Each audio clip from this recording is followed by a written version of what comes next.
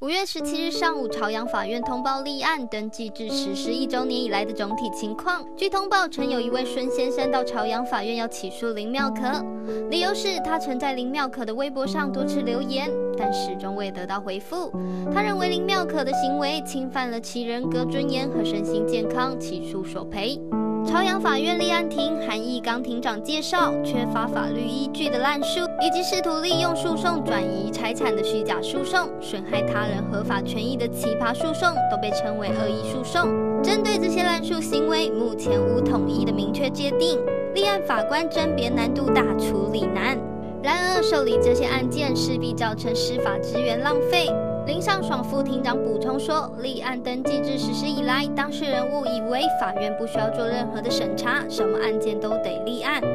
有些人甚至只拿一张纸就要求法官立案。